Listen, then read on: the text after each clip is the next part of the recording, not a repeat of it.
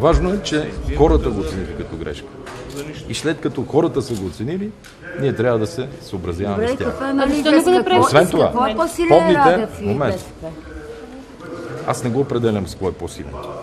Те направиха по-добра кампания, по-модерна. От сутрин до вечер летат самолети.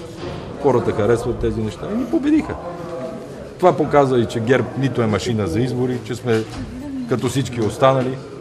Може да печелим, може да загубим. Добре, кой партията ще понесе отговорност за загуба? Партията по-тежка отговорност от тази кабинета да си даде оставка. Няма как да понесе. Кое е по-тежко? Виждате ли рискове пред държавата от тук нататък след вашата оставка?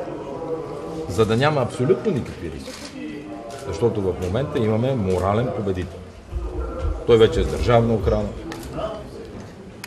Сядат с плевнели, дава му премьер с министри, които да карат до изборите, когато ще да се назначава дата, носи отговорност, държи се така, както е в предизборната кампания.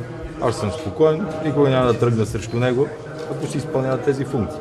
Ако дезертира, ако хвърли вината, ако хвърли сега цялата отговорност на Плевнелиев, това е безотговорно. Защото Росен Плевнелиев имаше много тежки години.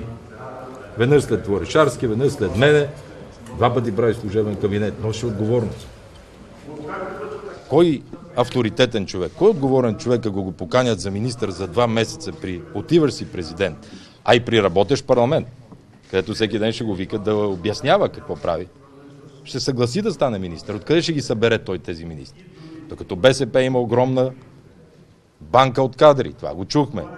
Да си дадат премиера, си дадат вице-премиерите, си дадат министрите, замминистрите и господин Радев с господин Племнелиев да го Говори Направи. се, говори се, че служебният Моля? кабинет... За рисковете тогава няма да има никакви рискове.